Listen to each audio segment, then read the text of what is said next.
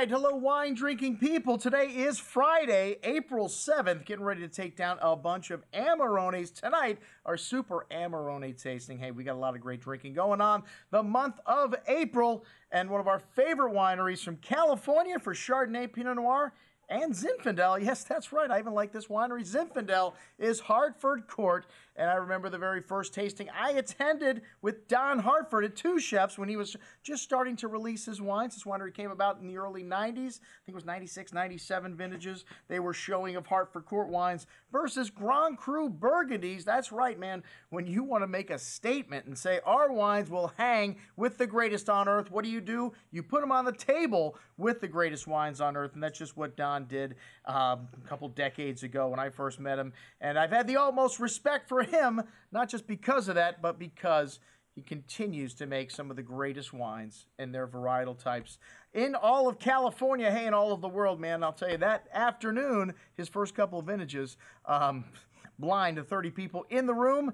I would say 80% of them picked his wines over these great Grand Crus from some of the top producers that cost exponentially more than these Hartford wines. Still to this day, he makes just a tiny amount of these single vineyard wines, and uh, some of them just 50 cases, 100 cases. We're lucky enough to get um, pretty much anything we want. If we call up Don, he was happy to send us a few cases of his most limited production wines. Hey, the Russian River wines, for what we have on this offer, $20 for the Chardonnay. Are you kidding me? We got some incredible prices and the single vineyard wines are still under 100 bucks, most of them under $70 on this offering.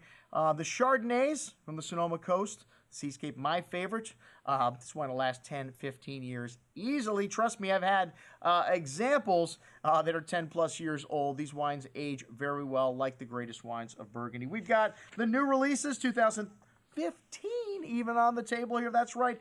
This Four Hearts, most excellent juice. And, uh, all of these wines, like I said, uh, to me, relative values. This wine is under $40 a bottle, 38 bucks. Most excellent, one of the best Chardonnays that I've had this year. The Stone Côtes.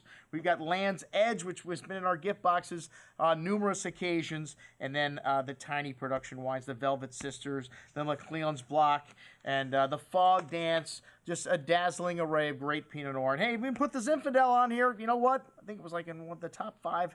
Uh, it was in the top 10 this year in the Wine Spectator Top 100 and uh, the 2014 which um, same in a relative value for a great Zinfandel. Uh, even their most expensive Zinfandel still 50 $60 a bottle for these 100-year-old vineyards. And these are field blends. That, to me, is the best Zinfandel ones that have other great varietals in them. That's how the old Italian immigrants planted these vineyards. So check it out. Everything we've got, the new releases from Hartford Court Winery. And hey, I'm going to include our interview with Don Hartford at the end of this uh, email for you. I'm your host, Andrew Lampasoni, signing off for the Wine Watch, saying remember, always drink the good stuff first.